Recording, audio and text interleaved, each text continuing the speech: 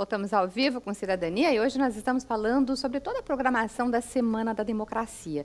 Mas não podemos esquecer que hoje, 27 de março, também é o Dia Mundial do Circo e do Teatro.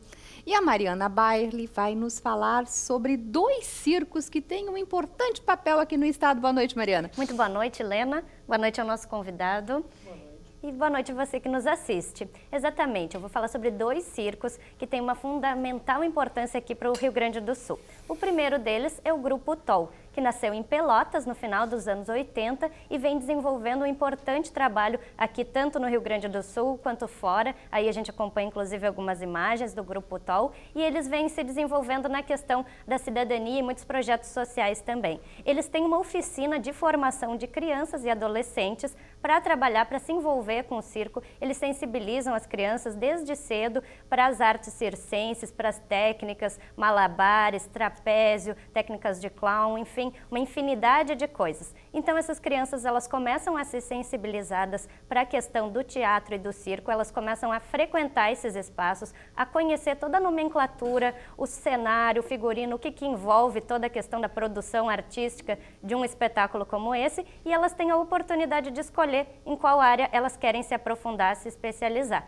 Então, um importante trabalho, eles já têm 80 alunos entre crianças e adolescentes na faixa dos 6 até os 13 anos de idade, que eles estão formando ao longo aí dos anos. E o Grupo TOL também tem um importante papel uh, social junto a hospitais, ONGs, creches, porque eles têm o projeto TOL Alegria. Eles levam pequenos esquetes do, do grupo, são encenações, são uh, brincadeiras, atividades interativas para hospitais, para as pessoas que estão se recuperando, para asilos, para casas de moradores de rua e realizam ali um trabalho bem importante que acaba até motivando essas pessoas que estão nesses espaços e até nos hospitais muitas vezes contribui até para para a recuperação desses pacientes, né, levando aí essa alegria, essa emoção do circo, essa vivacidade que eles passam. Então, quem quiser mais informações sobre o Grupo TOL, o endereço do site deles é o grupotol.com e ali você tem todos os detalhes. E o segundo circo que eu homenageio hoje, nesse dia, nessa data, é um circo aqui de Porto Alegre, é o Circo Girassol. O Circo Girassol nasceu no bairro Navegantes, aqui em Porto Alegre, eh, e ele já funciona há 14 anos. Agora ele está na, na comunidade da Vila Bom Jesus, e vem realizando também um, papel, um importante papel social junto à comunidade. Eles têm oficinas com crianças e adolescentes também, que são pessoas que estão, estariam em situação de vulnerabilidade social e no turno inverso da escola, eles realizam, aprendem ali atividades ligadas ao circo e ficam fora das ruas, fora de riscos de perigo, com violência, enfim, e estão ali bem, eh, bem assistidos e aprendendo um novo ofício e podem se desenvolver no circo. Então, quem quiser também mais informações sobre o Circo Girassol, o site deles é circogirassol.com.br. Tá aí dois grandes exemplos, né, Helena, mostrando... Nossa, Mariana, muito bacana, muito bem Circo lembrado. também é sinônimo de cidadania e projetos sociais, né, desenvolvendo Nossa, aí toda... como tu falasse, esse lado lúdico, essa vivacidade que não é exploração de animais, né, que não, eles não, eles falam nenhum deles técnica, utiliza... é, com técnica, com e com toda essa vivacidade e essa alegria dos dois. Com né? certeza. Né? Tanto qualquer, os, os, dois são maravilhosos de, de, acompanhar apresentações dele. Verdade. Então fica o convite aí, a lembrança para os nossos espectadores. Tá bom, obrigada, Mariana. Até a gente amanhã. agora volta a conversar com o assessor internacional da Assessoria de Cooperação e Relações Internacionais do Gabinete do Governador, o Fábio Balestro Floriano. Bacana isso do circo também, né, Fábio? Porque. Claro. Tem um, tem, sempre tem um, um, um, projeto, os dois têm um projeto social muito importante, esses dois circos. São daqui. Sim, são maravilhosos. E eu queria aproveitar esse gancho dos circos para dizer que o nosso último dia de atividade será dedicado justamente à cultura. Olha.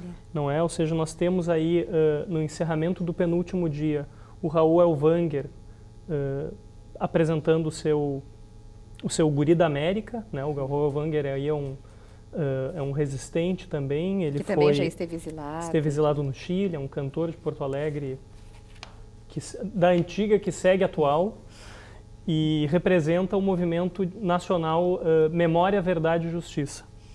E no último dia nós temos também um painel fundamental relacionado a isso, que trata de golpe, ditadura e movimentos culturais, com a presença do Silvio Tendler, o cineasta dos vencidos, como chamam ele, que vai estar então uh, apresentando dois documentários.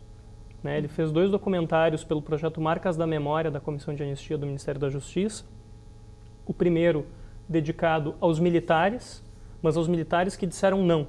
Esse é o título do documentário. São os militares que resistiram ao golpe, que foram caçados, exilados, perseguidos, torturados e mortos. E o outro documentário se chama Por uma Questão de Justiça Os Advogados na Luta contra a Ditadura. Esses dois documentários serão lançados a diversos personagens gaúchos que fazem parte desses documentários, os quais nós gostaríamos também, enquanto governo do Estado, de homenagear durante a exibição desses filmes. Vamos convidá-los para que estejam aqui presentes. Tudo no Memorial do Rio Grande do Sul. Tudo no Memorial do Rio Grande do Sul, entre o Marques e o Santander, na arena que estará que está sendo feita ali dentro do espaço do Museu de Direitos Humanos do Mercosul. Certo, e isso tudo de 1 a 5 de abril, sempre com entrada franca. Como é que pode fazer para acompanhar os painéis, para participar das conferências e até desses uh, da parte cultural? Parte de shows e, do, e do, do, cinema. Tem que pegar senha, chegar Não, cedo, de chegar preferência? cedo. De preferência, chegar cedo. Nós temos uh, um espaço limitado. Teremos telão para quem ficar de fora ah, do espaço. Na Praça da Alfândega. Exato. Teremos telões ali à disposição para quem ficar de fora estamos tentando viabilizar 90% de chance de termos uma transmissão online também. Né? Nós temos uma série de parceiros nacionais e internacionais interessados na programação e solicitaram, então, nós estamos aí construindo uma viabilidade para fazer a transmissão Olha, online então quem está assistindo fora aqui de Porto Alegre, quem está assistindo né, em outras cidades do Rio Grande do Sul, alguns dos painéis, fique atento, a gente depois divulga ah, também no site aqui, do, também na no nossa página no Facebook do Cidadania, dessa possibilidade do link com o governo do Estado. Exatamente. Uh, para poder acompanhar os painéis, as conferências da Semana da Democracia. Fábio, alguma coisa a mais que a gente deixou passar? Acho que a participação do público, esses convidados importantes, os debates todos, alguma coisa que tu gostaria de deixar, de Sim. enfatizar? Nós temos, vocês já devem ver, porque eu creio que já há outdoors pela cidade. Uh, nós temos cabines, onde vocês podem ir, tirar sua foto, ah, e colocar, fazer assim? Exatamente. E essas cabines, elas imprimem a foto de vocês com esse layout, uma para vocês levarem para casa e outra para, se vocês quiserem, colocarem nos outdoors que, que ainda serão outros espalhados pela cidade. A nossa ideia é que a população, ela é sim a cara da democracia e queremos que ela fique exposta, ela fique aí mostrando a sua cara, aparecendo, né? Ou seja, o mote da campanha é justamente quando você aparece, a democracia não desaparece. Tá e aonde estão essas cabines? Estarão essas cabines? Essas cab uh, essa cabine deverá estar domingo na Redenção.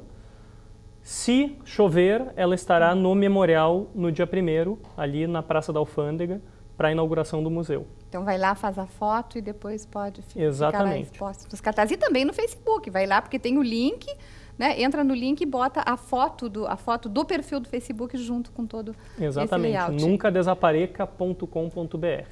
Tá bom, Fábio, muito obrigada pela vinda aqui. Parabéns pelo evento aí, que seja um sucesso. Nós da TV com certeza estaremos fazendo a cobertura, estaremos trazendo mais uh, informações e também a participação dessas pessoas, registrando né, a participação de importantes nomes e registrando esse evento aqui do Rio Grande do Sul. Não, eu que agradeço o convite em nome do governo do estado. Para nós é um prazer estar aqui com a TVE e esperamos vocês e vocês na Semana da Democracia.